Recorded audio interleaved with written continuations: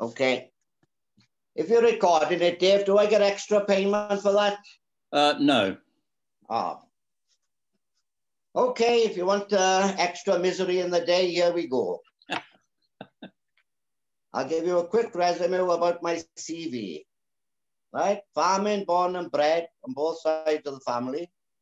And quite a few uncles and aunts, obviously. And I was one of three sons, and I was the middle one. So the eldest son would inherit the farm. And uh, we couldn't very well work together because we only had two speeds, and that was slow and stop. So you had to make your way in life. So um, when I was about 17, I went and joined a farmers relief service, was covering uh, the south of England. I had gone to Guess the Isle for a year, and good job I did, because that's where I met my wife. And I used to go to the church regular on a Sunday because she was there. Hmm. And when she got up, we'd put the Bibles underneath. So when she sat down, she'd make a noise, and the vicar then would be looking to see what the problem was. But they were happy days. After that, after the relief service, I went to college for a year. It was a two year course. but I left after the first year, and that's another story. So we'll skip on. And then I joined a poultry processing company called Eastwood in 1970. I'd done a month's training as a quality control officer, which was new to the industry. Marks and Spencers were the leaders, and I think they still are for quality and hygiene. And I spent 10 years at Eastwood. I was a year on the quality control. Then the, the manager left. So I took over his job. And then, uh, unfortunately, my manager, Johnny Johnson, was heck of a nice boy. He had stomach cancer and he was unwell for about six months before he passed away. So I was made manager then and we were processing 130,000 birds a week. They were seven and a half weeks old with an average weight of just under four pounds. So you learned a lot. And I'll get on to the food side in a minute because I think people don't realize or don't take enough interest what they're eating or what's in it. Well, we'll go along those lines after. When I was in Eastwoods the summer, with a lot of holidays, we used to take in a lot of students. And some of them, well, they shouldn't have gone there because it's not everybody's cup of, tea to work in a processing plant. And if you remember, I think it was a 75, 76 when we had the power cuts. Because the birds were still growing, you had to kill up about 130,000 a week. Because every couple of days, the birds would be putting on weight every day. And if you weren't careful, they wouldn't fit the shackles on the, on the system as it was. So we were working two shifts, six, six in the morning till 10 in the morning, and four till eight in the afternoon.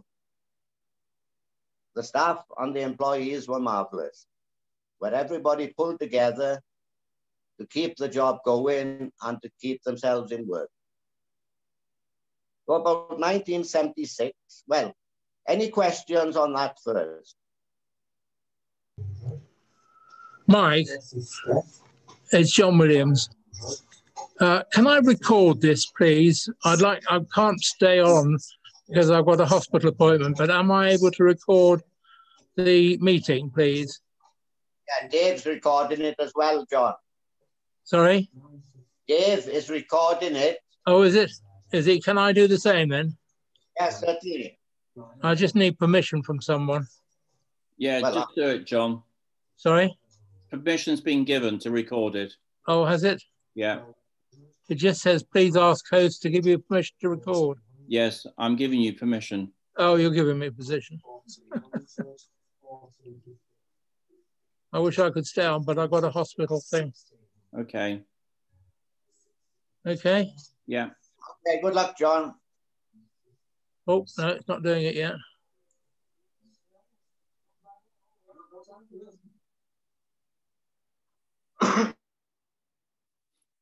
Carry on, Mike.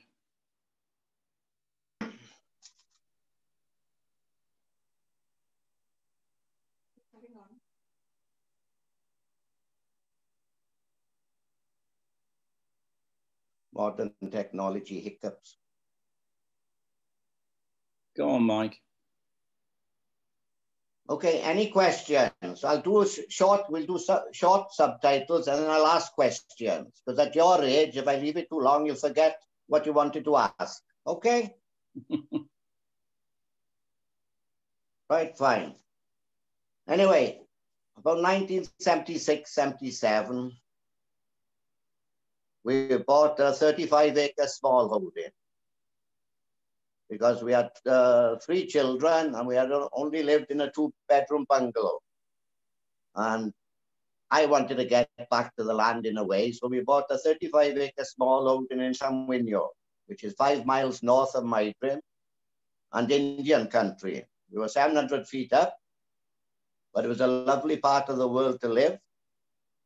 Everybody was friendly the, the S4C made a program about that parish, about the, what the influx of the English had on a very Welsh area.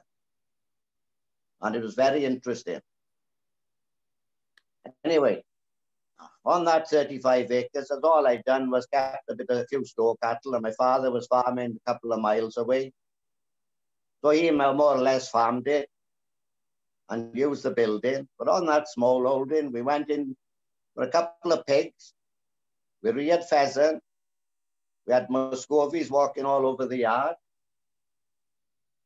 And we had chicken. Also, eventually had an aviary with canaries, finches, and doves in it, and Japanese quail, because I had a very long run, flight run for the birds. And me and oh, and we had another aviary then for budgies. And we used to spend a happy hour in the morning having a cup of coffee, especially on a Sunday on a nice day, just listening to the canaries. And it was very peaceful out there, no cars or anything. And with the budgies, I had a double door to go in. And I'd bought a new budgie. And if somebody starts shouting at me in a minute, you know who it is, because a neighbor was interested in keeping birds as well. Marion went to show her the new budgie. So the idea is you go, go in through the first door and close it, go in through the second door and close it. But nobody closed the first uh, door. So this new budgie flew out. And I was going down the road to try to, well, you couldn't do anything, and eventually probably the wild birds would kill it anyway. But we had a lot of pleasure with keeping the birds, but it was, I must point out, we had to have a big flight area for them. And then again, closed space then for them to breed. And the trouble is with the doves, they're always laying their eggs on an angle on a bunch of hay I put in the middle. We never bred from them. If I say the cage was wrapped in Twilweld, and that is what, half inch maximum square, and the Japanese quail were renowned for not laying their eggs in one place. And I was working 26 miles away with Eastwood in the factory at the time.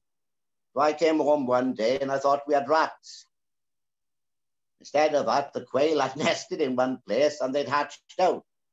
And we had about 20 of these little quail. And when I mean miniature quail, they were small. They got through the Twilweld and they were outside. And this must have been what, late March? Anyway, there was a frost forecast. I brought them in and I put them in a box by a Rayburn in the kitchen. And we won't mention names, but somebody wasn't happy with that. So it was, they were put in the utility room. Anyway, we had to revive them in the morning because they got cold. So you learn by your mistake. But they were lovely animals and we had a lot of pleasure. With the ducks and the pheasants, well, the animals, they gave us a lot of pleasure. But the pig was Marian's responsibility. And I did put a photograph of uh, Lucy with her 16 offspring on WhatsApp. It wasn't very good. But Marian stayed up all night to watch her farrow. And that's to have the babies, if you don't understand. Yeah, she was smoking in, that, in those days, so she had 40 cigarettes with her. And I made a board, so when Lucy was farrowing and pushing out the piglet, she picked the piglet up and put it on Lucy's teeth. But you had to keep the board between the head of the pig and yourself. Because we were uncertain how she would react with farrowing. Some pigs are a bit, can be a bit feisty, but Lucy was good as gold. So we had a lot of pleasure with the pigs as well. Marion says I've got a lot in common with them. As far as I'm concerned, they're intelligent and clean animals. Marion might say different, but I won't argue with her. All right then. Come 1990, I was getting restless. We had looked to change jobs because I learned my trade and I was a manager at Eastwood for seven years. Hard work, very enjoyable, learned a lot, went over to Denmark to look at automatic machinery.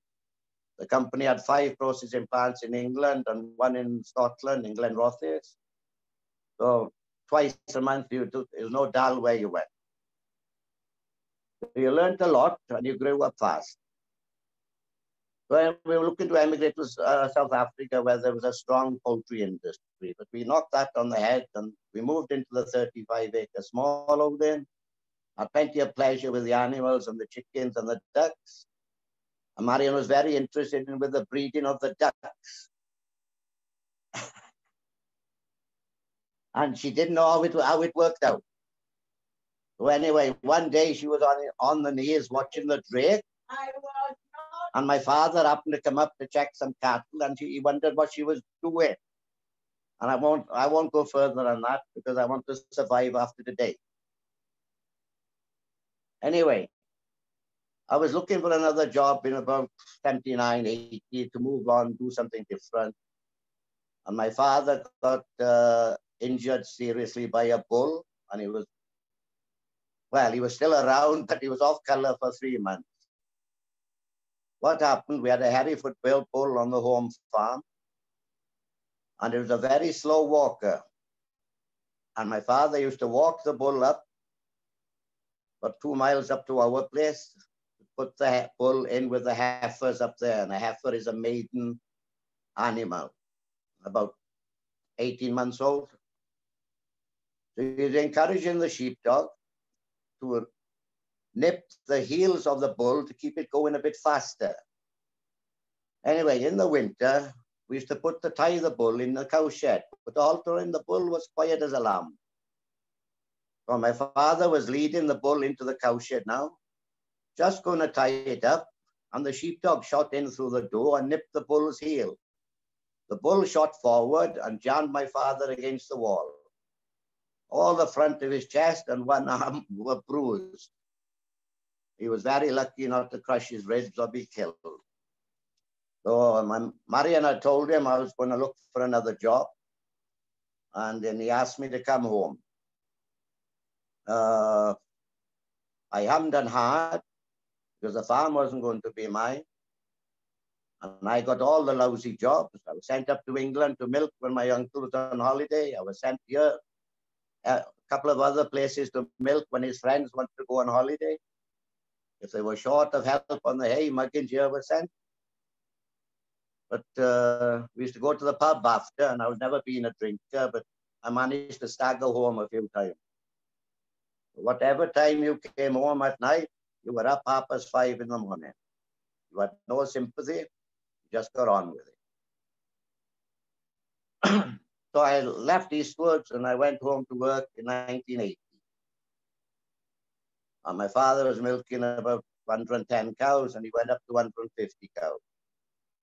And he was farming about 230 acres plus my 35 acres.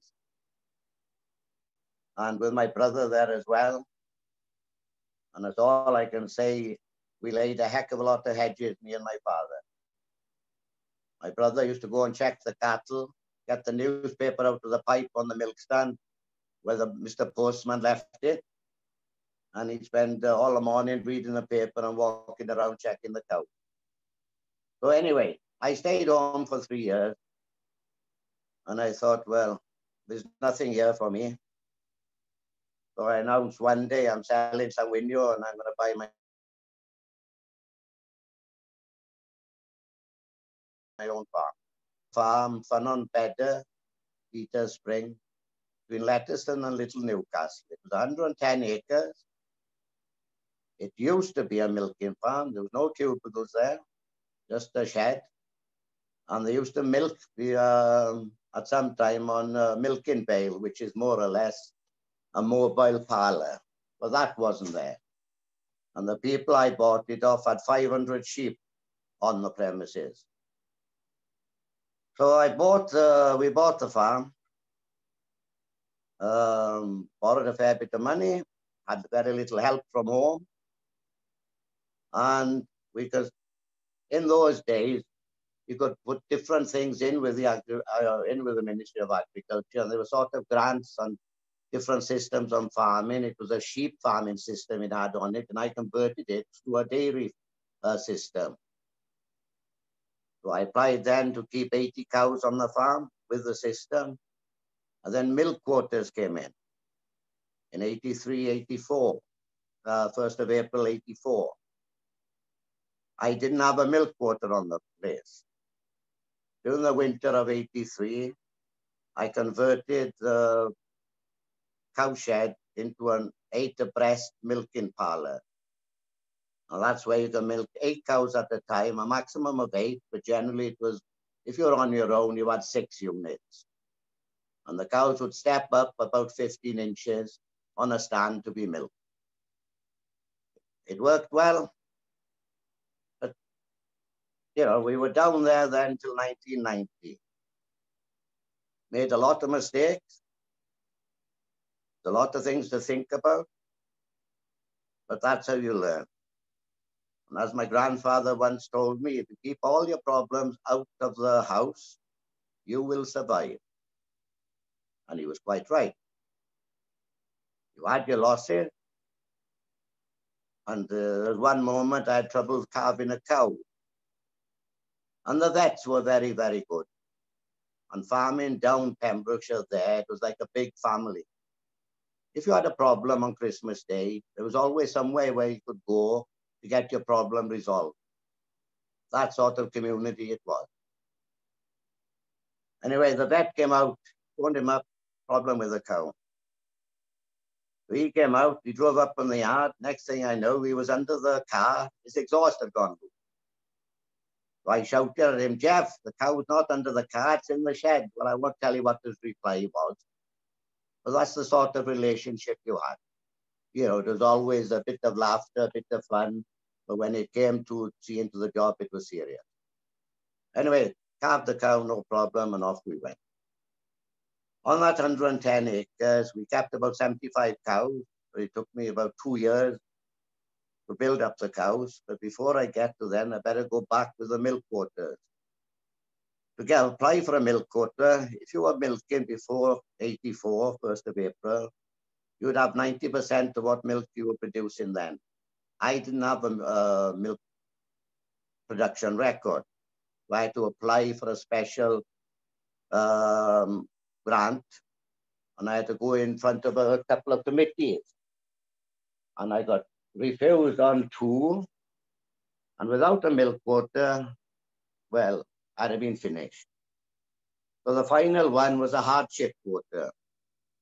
And I had an interview in Carmarthen at six o'clock was it five o'clock? Anyway, I asked a very good friend who's in the National Farmers Union, Guy Williams, and he said he'll come with me. And they gave me a quarter for 80 cows, less 10%.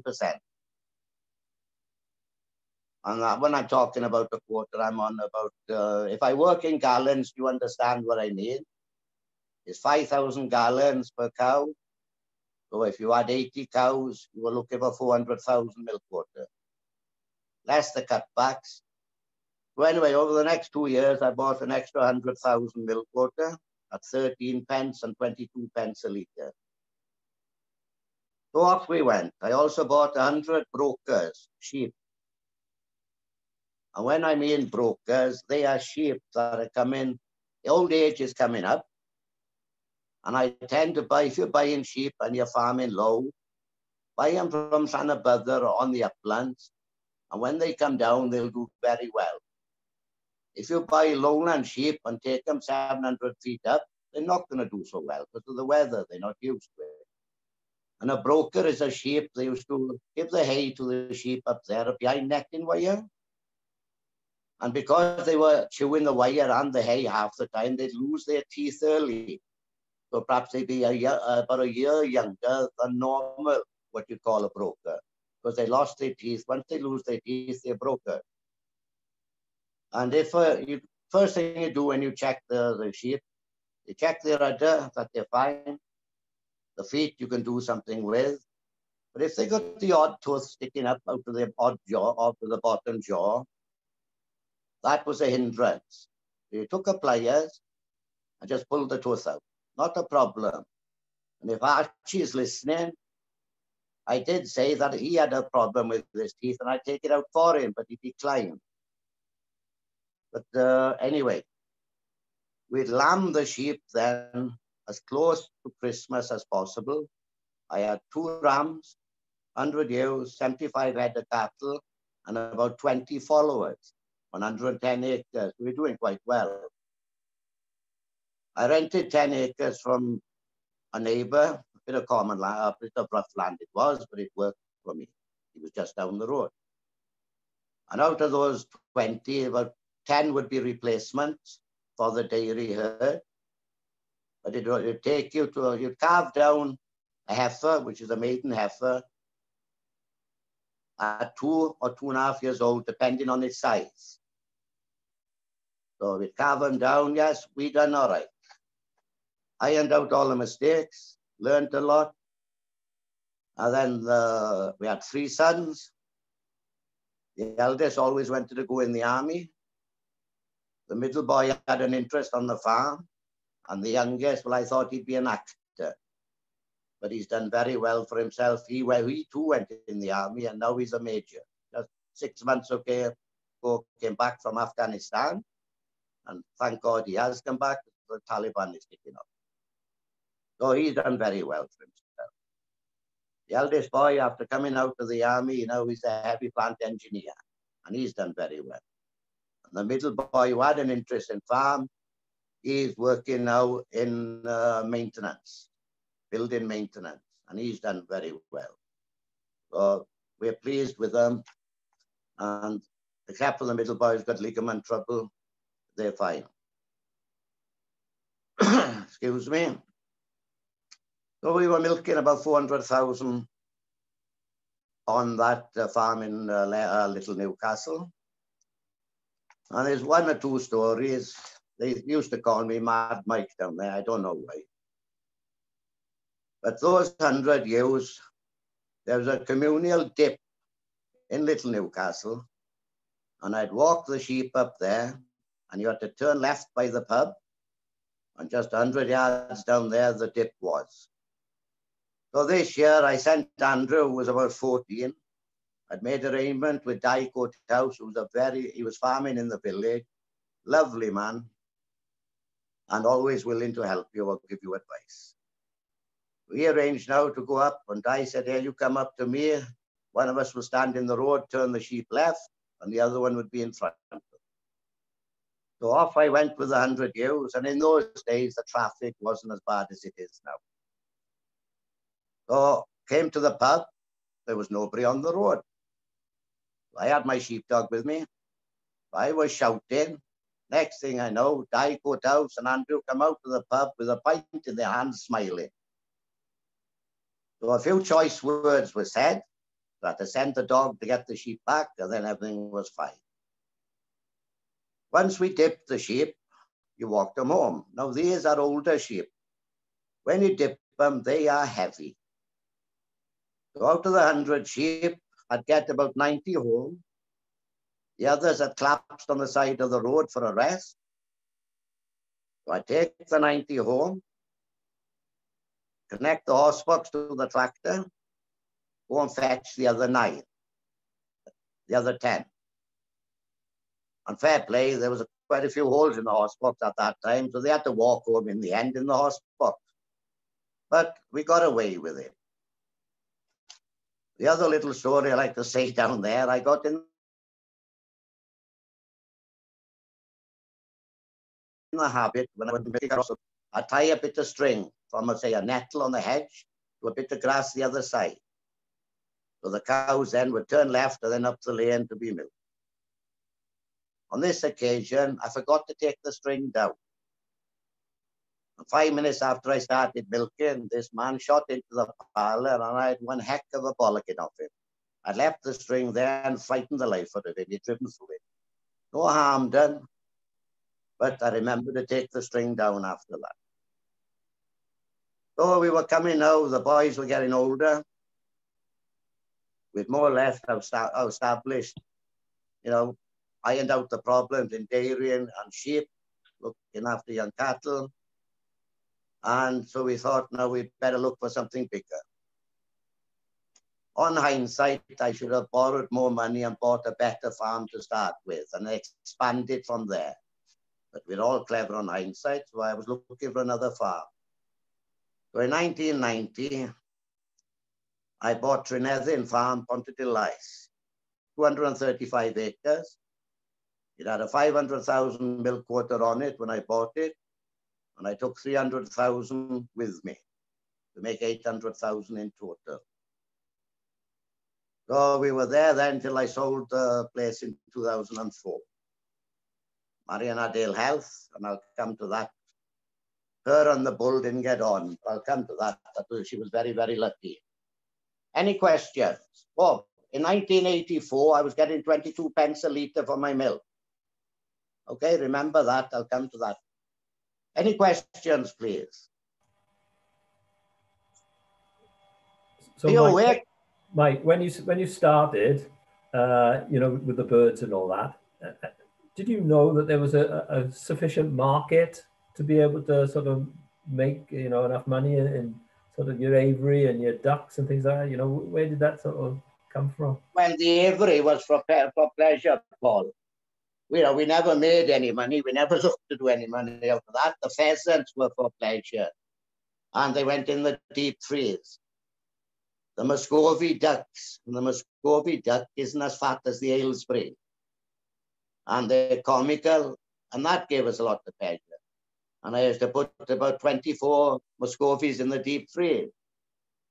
And the story with that, because I was used to, shall we say, working in a poultry slaughterhouse.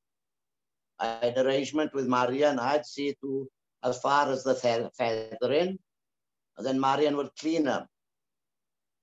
But she never got around to cleaning them. And I was chasing her around the yard in Savigno with this duck that I'd feathered, and the vicar called.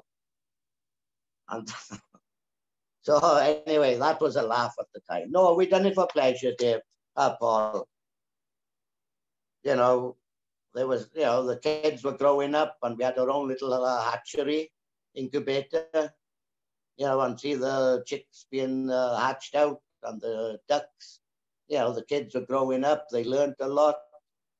And to me, to a little fluffy duck is uh, gives you a lot of pleasure just to look at, to see their antics. The pigs never made money on it, always broke even. But then to see the pigs, then they had a bit of a run. Marion used to look after them and clean them out. But the, uh, where the uh, pigs laid in the shed, oh, they'd never do their business anywhere near where they laid. It was the, always the other side of the shed. So where they laid down was always clean and dry. And perhaps you'd have 16 of these piglets running around, and they're no different to human beings, children, you know, youngsters fighting, squabbling, running around, and all of a sudden, then the 16 would freeze for about five seconds. They'd all stop what they were doing, and then they start up again. So whether that's they heard a sound, I don't know. But I'll tell you a story when we had the pigs in the old Carmarthen market. We took the, the pigs in as pokers. So they were to the shoulder about two feet, say. And our youngest, Alan, was about two foot six. And I, how old was he? He was only about four or five. So we'd put him in the pen with a brush to clean the pigs. And only his head was showing. And he had a smile from year to year, because in the old market, they used to have a lot of holiday makers come.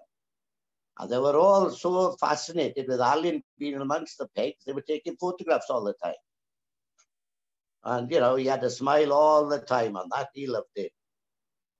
But his memories. Anything else? Mike, did you make much money on the on the sheep? You know, with the shearing, and then the the meat was a. Did you have to pay for the shearers to come, or did you make yeah. any on that? We paid. We paid for a shearer to come, John. Um, I've never had a strong back. I damaged it when I was 16, trying to start the cold concrete mixer in January.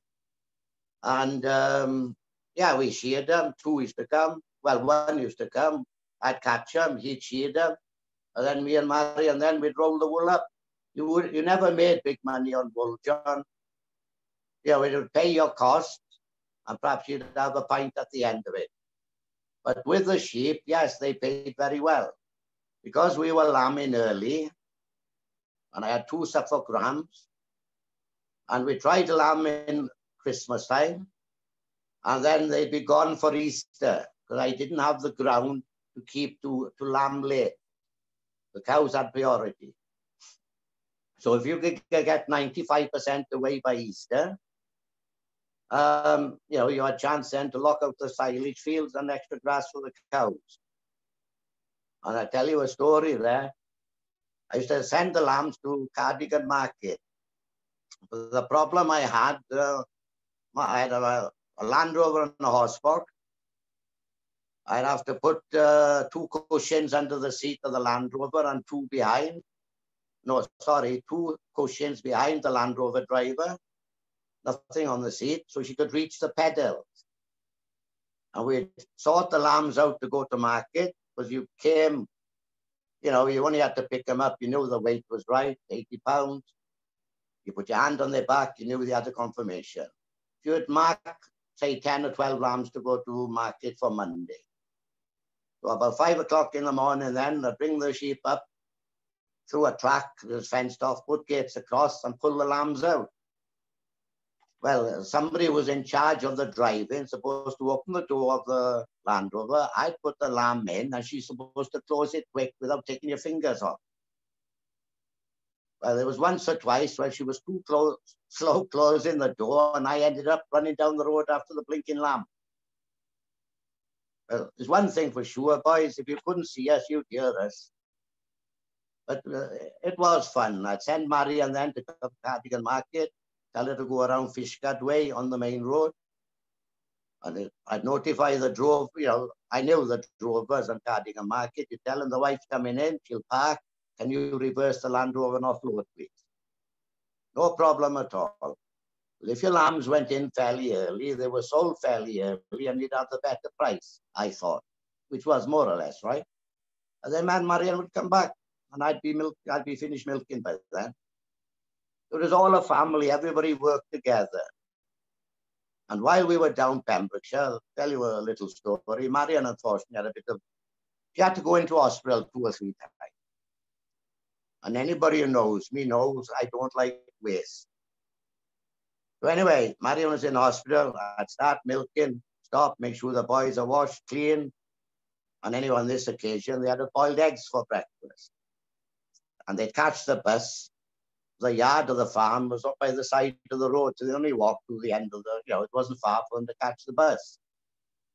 So when I finished my jobs, I'd go in, have breakfast, and I'd make cawl and put the cawl on the Rayburn so it'd simmer all day. So there was this was in the winter because they had something hot to eat when they came home. And their mother used to phone up to see how they were and talk to them in the evening. They moaned about having cawl every night. But they ate it all. Anyway, on this occasion, there was a boiled egg left over in the morning. So I thought, what am I going to do to this? I don't want it. If I put it in the cawl. You know, and you can gather, that night, you know what happened? The, the thinking egg came out whole. I have it? And they moaned to their mother. Another occasion, it was in the summer.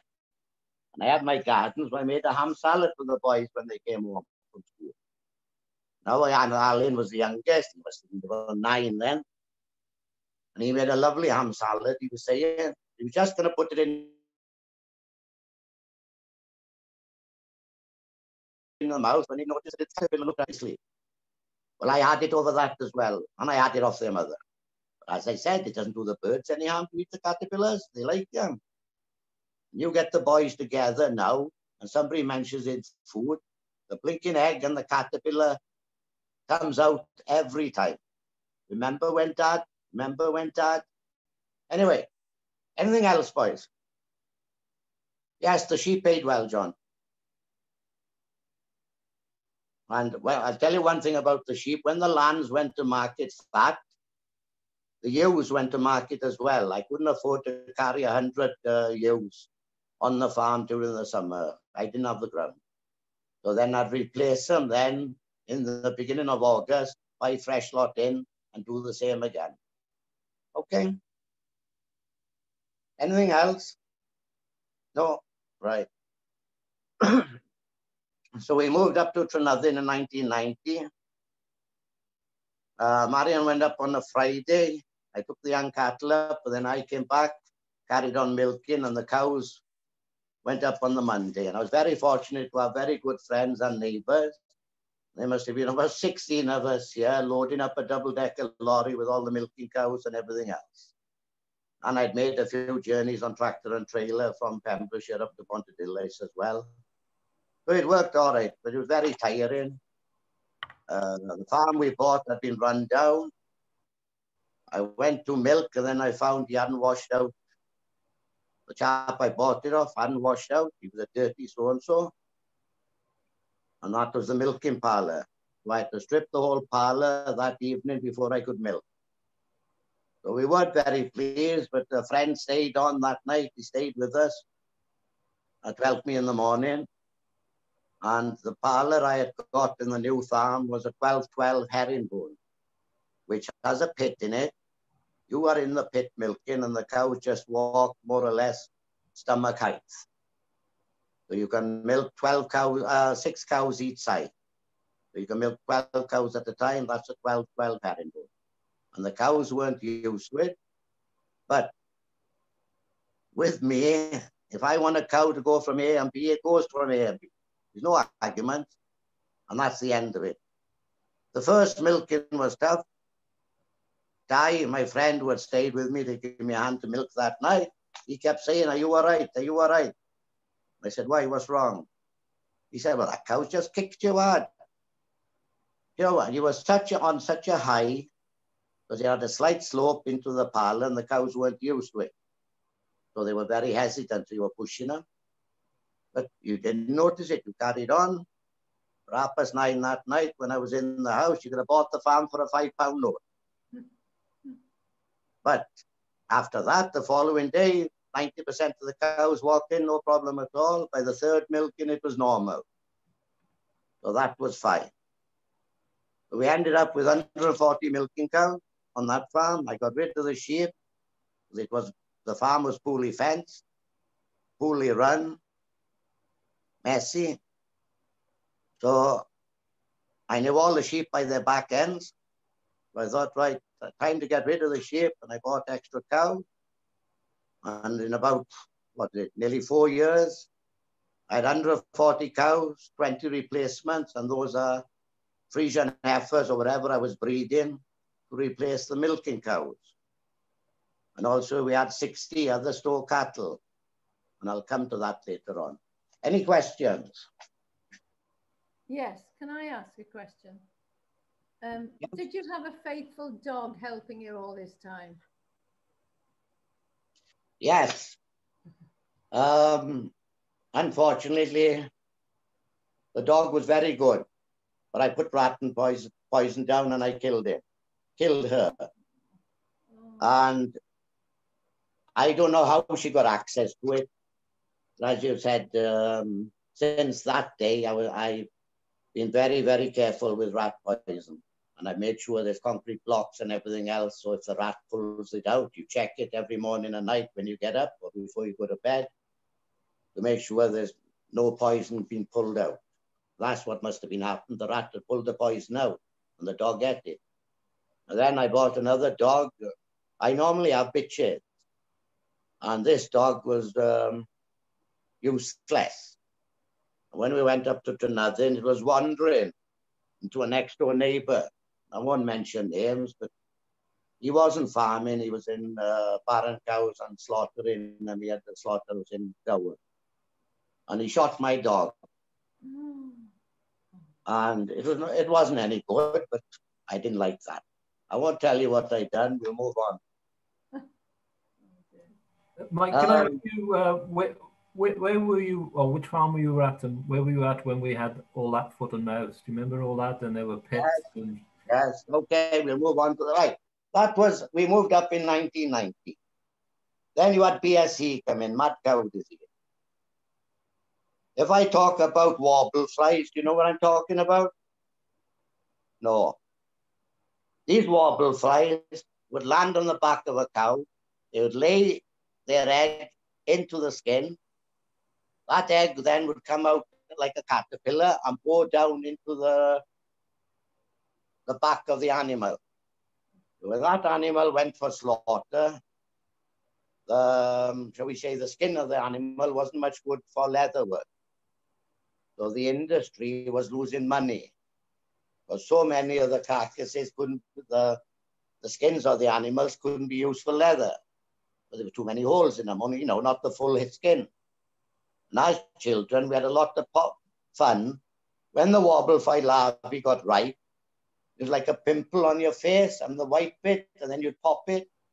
Well, you could, when it was ripe, you'd squeeze it and it'd shoot out. So as kids, we used to do that. And the last warble fly I saw was in, what in 87, 88. And the cows were ready. I got them up to the main road. I was just walking up to send them to open the gate and get them across the road. When they were all the heads went up in the air and they were restless. And I could see this warble fly. It was bigger than a bee, making a noise. So they came out with a dressing then that you poured on the back of the cows along the spine, right up to the top of the head. And BSE, and what I'm telling you is my own opinion, right? I reckon that fly killer got into the spinal cord, into the nervous system, affected the brain of the cow. Nothing was ever said about it. And in, 19, in the, about 91, I had one definite case of BSE. She was a twin. The, the other twin was fine. But this cow, if you put your hand anywhere near her head, she would go bonkers. And you have to be very, very careful when you milk her because she'd let fly. And the other case was 50-50. But my theory is, is that pesticide on their back got into the nervous cord system. Well, Ben would probably know what I'm talking about, but the, it, it, was absorbed into the carcass of the cow when you put it along the spinal cord. Then we had foot and mouth. Um, I didn't, uh, we didn't have a problem ourselves, but everything was on lockdown. You couldn't move cattle. I had a friend, I shouldn't be telling you this either. We had a friend who um, had a few settlers and he'd lost a calf. And I had some good, uh, I had an MRI bull there then. I had some very good calves from it. Too big in actual fact. And that's another story. So I decided, I phoned up the Ministry of Ag as well. A neighbor wanted buy some cattle off me. And I said, look, that's all I've got to do is make an entrance through this hedge from my field to his field and walk the cattle through. Can I do it? They said no.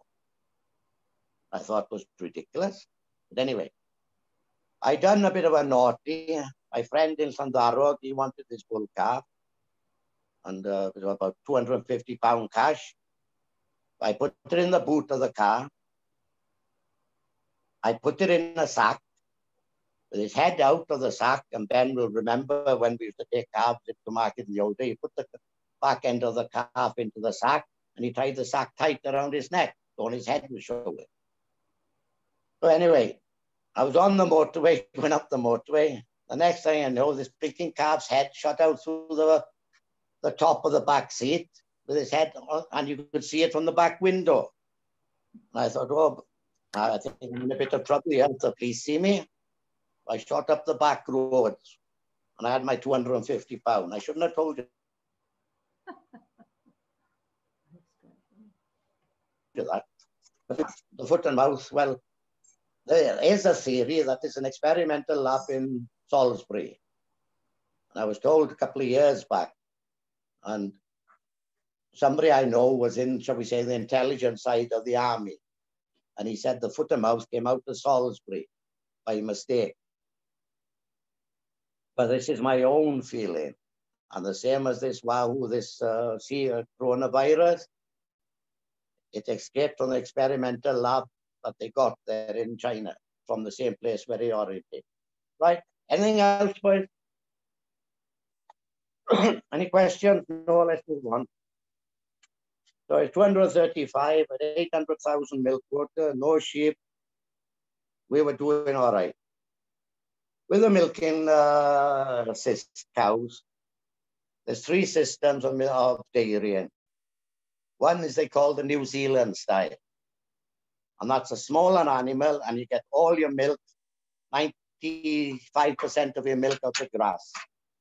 They're smaller animals and they're on out at grass, we say, nine months of the year.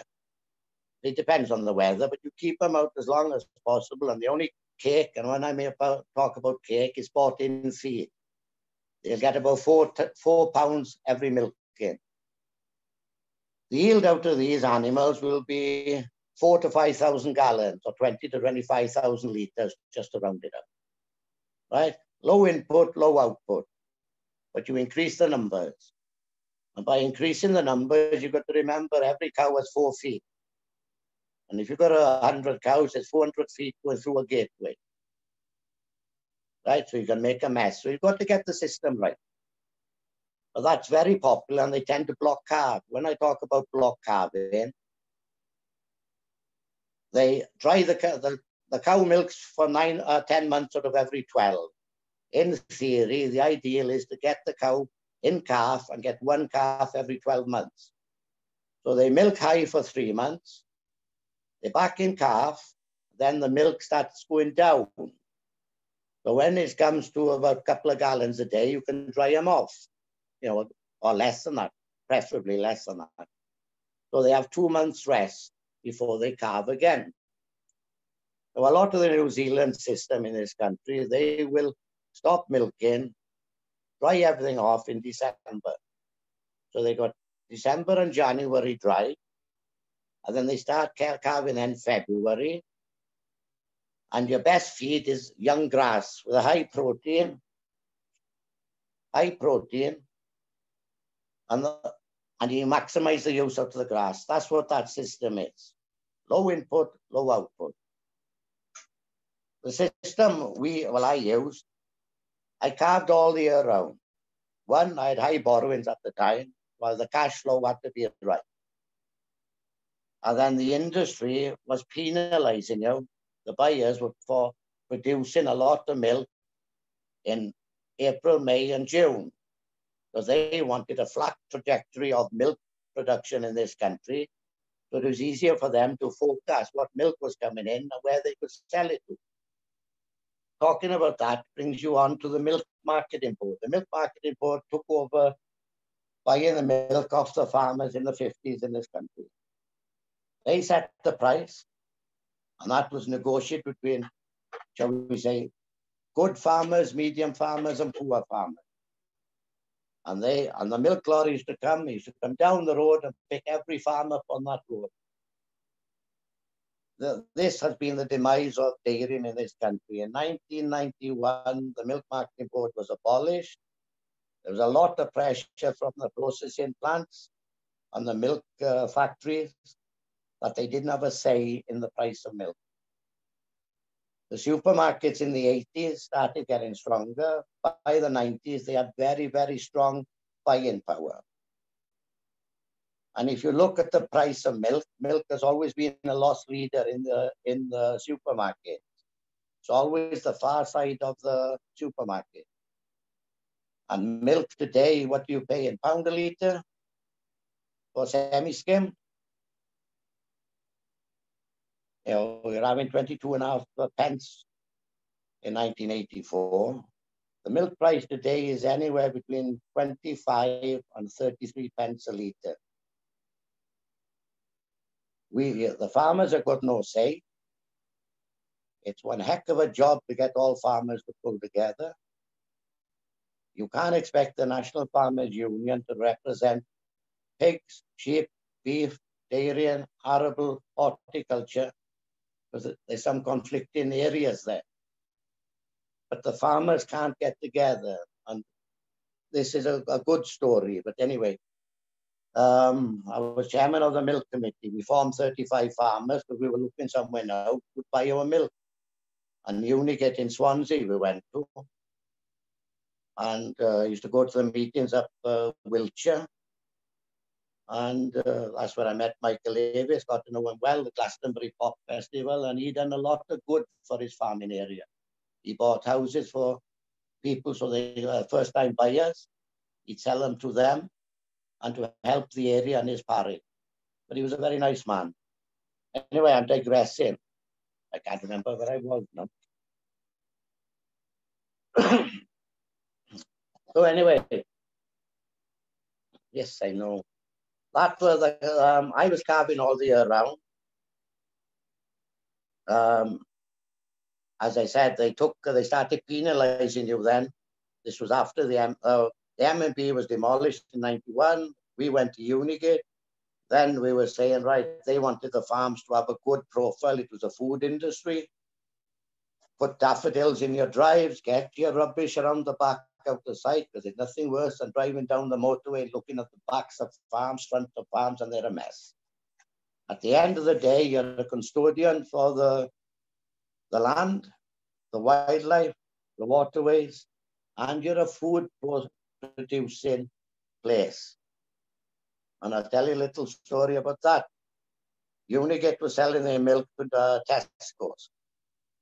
Tesco's, I had a visit from Tesco's to look at the parlor and the setup and the hygiene. And I got a couple of trophies here for five years. At the time, we had uh, we had we were in band A in hygiene, band A in um, quality of milk, and that's good protein and fat. And walked, we went into the supermarket and I could see cobwebs hanging from one of their sides. And this chap who visited me from Tesco, he was a bit of a pain. I had swallows in the milking parlor. What you doing about it? I told him, look, I put sound, signs up in South African, Swahili, English, and Welsh, and the swallows are still coming. What do you want me to do? I couldn't stop them. So anyway, Tesco's at cobwebs from their signs. So I said, I want to see the manager, please. So I couldn't see him. I saw the under manager. Marian had run by now, she got gone.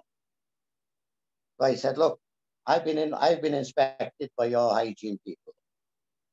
I come to a supermarket selling food and you got cobwebs hanging from the sign in the supermarket. I'll tell you what I'll do. I'll come back in a week's time. If those cobwebs are there, I'll go and see the environmental health. What's good for you is good for me as well. So anyway, for Marion had gone a mile. So that's, I don't know when I'm going now, I can all track here. Any questions? no, right, I can't even have a drink. Um, so anyway, the system now calving all the around. The cows were in five to six months in the winter, where the New Zealand system in, they were probably only in four months depending on weather again and grass growth. But the system I was on, you'd be getting uh, 32 to 40,000 litres out of the cow, seven or 8,000 gallons a year. You were feeding twice as much cake and, and bought in feed. But it was important to get your silage, your feed right, your feed systems right. Animals want stability. Their housing has got to be clean, dry, and hygienic as best as possible, with a good airflow without a draft. if you've got cobwebs hanging from a roof, you've got a poor airflow. And John and a few others, I walked the farm down my dream with a very good friend. I'd done a lot of work down there with him. And I explained this to the shed setup you're keeping animals. But stability, and if you've got a very, very good routine, you got your feeding system right, no hassle, for doing no extra work, you'd, you'd get increase your profit margin by 5% by doing no extra work, but getting it right. The third system is high pedigree or pedigree animals. Now these are bigger animals. They took they because they are pedigree and you people who've got dogs and cats and are breeding and all that pedigree side. There's two men. If you go back 30 years, you'll find the bulls from these animals more or less came from a small handful of sorts. So the longer you're breeding down that line, the weaker the animals get. I was milking over five, six years after I sold the farm for a friend up in Pen-y-mynydd, the other side of Trimsaran. And he had very good pedigree cattle. But the yard was on a bit of a slope at times. And if they were bulling, and if you know, you know what I mean by bulling coming into season, one cow would ride the other. Of course, one of, the, one of them fell. They'd have a job to get them. So I was more or less on the cross, cross-fed animals because we had a lot of slopes, a lot of walks, and I wanted a strong leg. So these were bigger animals. You fed them a lot more. You were feeding more or less 12 to 16 or 18 pounds of cake a day. Lot of bought-in feed. But you were having a 50 to 80,000 yield from them of litres. They're, you know, something between 8 and 10, 11,000. But they took a lot of looking after, a lot of mottle coddling. And I bought a cow from Cardigan. So, and she was, oh, she was a lovely cow, fourth calving. And if you can get seven or eight uh, calves out of a cow, you've done well. And the boys called her Dopey. And that was unfair because she wasn't dopey. She was just a lovely, lovely animal. And they take her in turns to ride her back from the collecting yard out to the field. That's how quiet she was. And she was a lovely cow. She milked well for me. But there we are. So those are the three milk systems. And another thing, while I was down Pembrokeshire, we had um, neighbours, Di and Blodwen. And I'll move on from then, the time's going on. Anyway, they were good neighbors, and every Sunday they'd go for a little run in the car. but on this Sunday, they had a very, very big row between the two of them. So they had the dinner, nobody was speaking. They still went for a run. And they went down the back country roads quietly for half an hour and they came across a shed, an open-sided shed, full of goats, pigs, and donkeys. And Blodwen turned to Di and said, Di, relations of yours? Yes, said Di. In-laws. Anyway. Any questions? I think, Michael, five minutes. We, we're up, the hour's up. I'm only part of a way through, John. Yes, I understand. Okay, I think, yeah. Uh, time for questions okay. now, I think. Okay. Just a quick one. The working hours, a normal day, you'd be up half past five. You'd work through. I always had an hour off for lunch, unless we were even on the silage. I was an hour off, and 20 minutes of that was asleep. Normal time finishing about half past seven. In the winter, it was a bit easier because you didn't have to fetch the cows. They were in tubes. Um, in the spring, that was the height of the busiest time for me because you had to uh, put fertilizer out, chain harrow and roll and try to get it all finished by the first end of the first week of April. And 10 o'clock was my cut-off time, irrespective of what happened. During all this, you had 140 cows to calve, and 65% will calve from 9 o'clock in the evening to 6 o'clock in the morning. So you always were up with them. In the summer, get your first crop of silage in, and you could relax We done three cuts of silage, 120 acres, 100 acres, and 40 acres third cut. I ran out of silage once and I vowed never to run out again. But it was a good life. Um, health and safety, there's a lot to be said on this. Well, I shouldn't tell you this either, but I used to buy bulls at 12 months old. The worst bulls are Jersey and Shorthorn. And anyway, I bought a Shorthorn bull. And we were moving it from one field to the cows where the cow wouldn't stand the AI. Halfway across the field, the bull went bonkers. He had a bit of a spirit on him. But at 12 months old, I put the vet would put a ring in his nose. I, I, when it is healed, then I'd put a rope through it and I'd hit the bull hard on his nose twice with my stick. Never touched it after that. Halfway through the field, taking this bull to the cows, the bull went ballistic. He was snorting, rushing at me, stopping, pouring the ground and making one heck of a noise. So I thought, oh dear, I'm in trouble here. Words to that effect. the son was with me and he was, what, 15, 16. I told Andrew, look, I'll distract the bull. You get out, cross to the gate, into the collecting yard, out of the way, and whatever happens, you don't leave there. So he, he legged it. I was jumping up and down, shouting and waving the stick. And I thought, I'm in trouble. I can't outrun him. And if he comes straight for me, I'm finished. But I reckon he didn't come for me because I started the stick up in the air and he'd been, he knew what would happen if I got close to it. So I think that saved me. But then, thank goodness, he smelt the cows and he ran to the cows and threw. And uh, he was in the lorry, the first lorry on the farm he'd gone. We had an MRI bull, and Marion unfortunately got caught by this bull, knocked her down, butted her for about 20 yards. And thank goodness it was a slope, because every time he, she, was, he was, she was being butted, she was being pushed an electrician, our electrician friend had called, they had a problem in the parlor. And as soon as the bull saw him, he turned around and ran up. I was taking the cows up. And I'm in front of the cows, dog behind. So I didn't know what had happened. But Marion was very fortunate she could have been killed. On health and safety on the farm, I can name three children who have been killed. The fathers ran, ran over one, another father smothered one in the silage because they went to look for their father and he didn't see him. And the third, I told you about putting string across the road. This 11 year old, he was only a quarter of a mile away from it, was coming tearing down this track, and the father forgot to take the string down. But he tied it on branches of trees, and it caught the boy on, across the neck and broke his neck. And I don't know how they can live with that, but farming was high accident.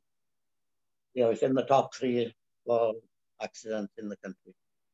Any question? So we're coming to the end.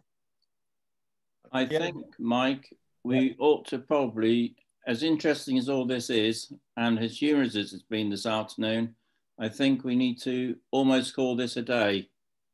Um, That's right, we do that.